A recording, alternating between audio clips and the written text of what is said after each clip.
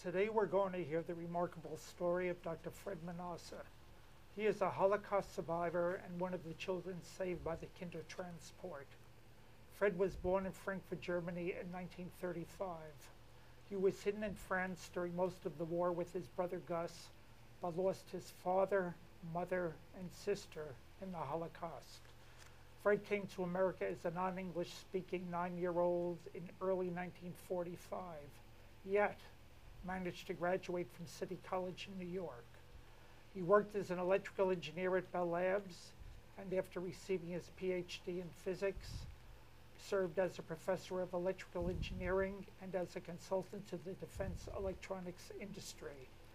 In 1976, Fred started his own solar energy company which he ran for 10 years before returning to work in the defense electronics industry. After retiring in 2002, Fred started to sculpt. He has exhibited his sculpture a number of times and recently organized an exhibition of art by Holocaust survivors at the Hebrew College. His newest works are related to his early experiences in Nazi Europe, and one of his pieces won several prizes.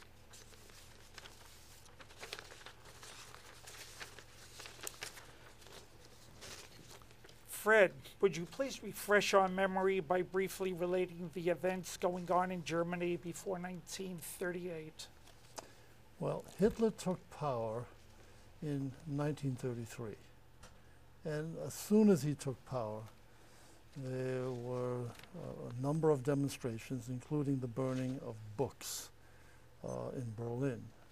And uh, the burning of the books was, for the most part, just the beginning of the uh, period before the war started in 1939, in which Jews were increasingly taken basically and reduced from citizens of Germany with professional status into a group of people who were essentially below servant class people.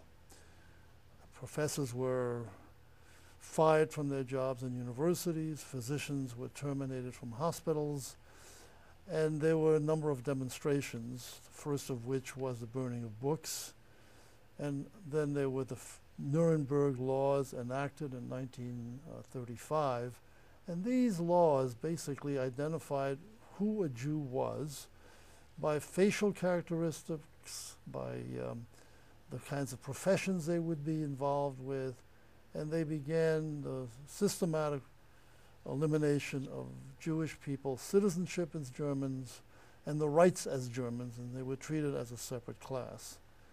Um, this was really done to the, with the outside world not really concerned in any uh, serious way. In 1938, Kristallnacht was really the beginning of the, uh, the main component of showing the world what was going on in Germany.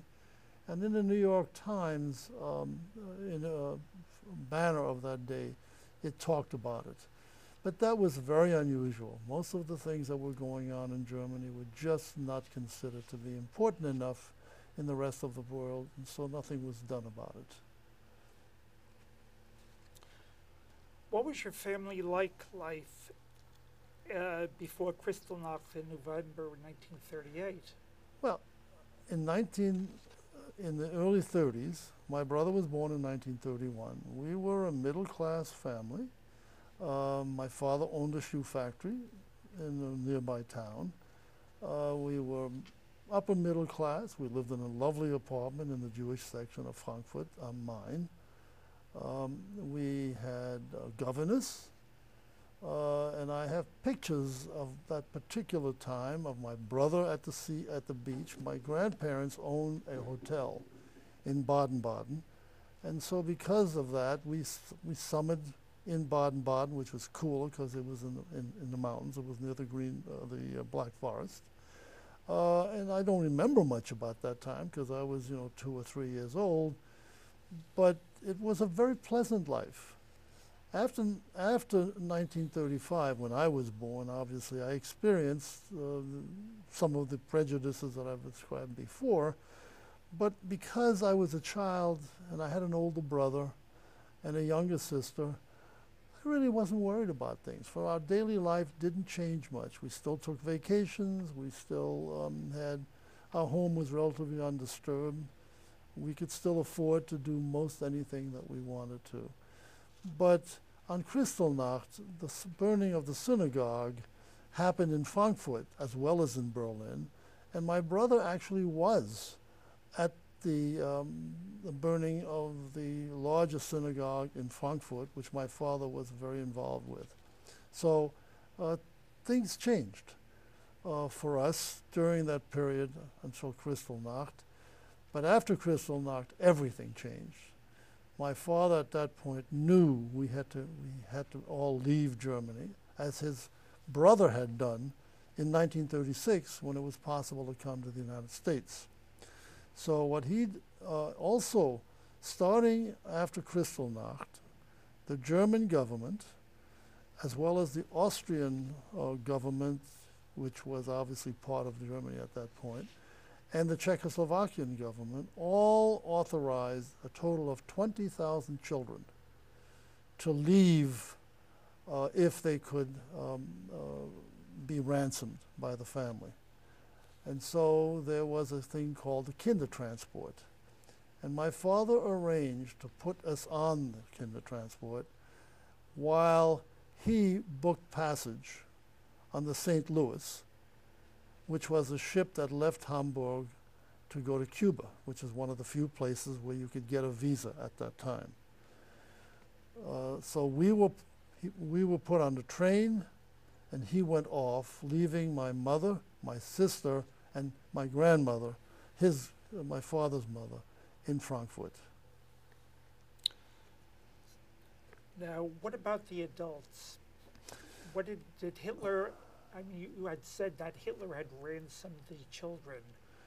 That's why right. didn't he have an opportunity to do, why didn't he make an opportunity to ransom the adults just to get rid of the Jewish population? I think basically he was focused on his next step, which was to invade Poland. He had plans basically to start the war around that time.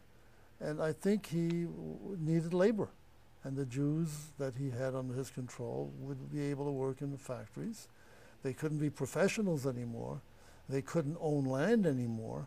Therefore, you know, they would have to work for the state. Uh, so that was one of the reasons. So uh, only those who could get visas to get out of Germany, you had to pay a ransom because you could only get 100 marks out and no, no property in Germany to come back to.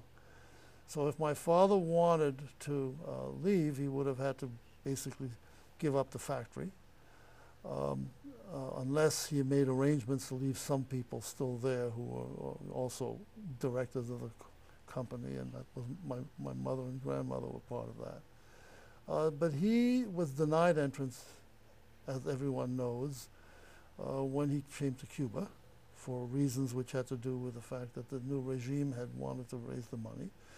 The ship came off the state, off the coast of, of uh, Florida, Miami, and he appealed to his brother and the rest of the Jews along with him appealed to the State Department for exile, asylum, basically. And it was denied by the State Department, which was intent on keeping the country from getting involved with the European War.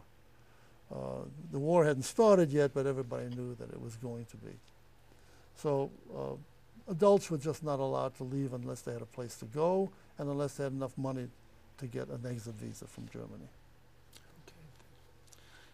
Now, you had said that you and your brother had gone to uh, Belgium. Just how long uh, did you uh, and Gus uh, stay in Brussels? Well, again, um, we were in Belgium from sometime in, in early spring of 1939 until 1940, May 10th, when the Germans, having finished Poland, attacked uh, Belgium and went around the Maginot Line in France to get into France.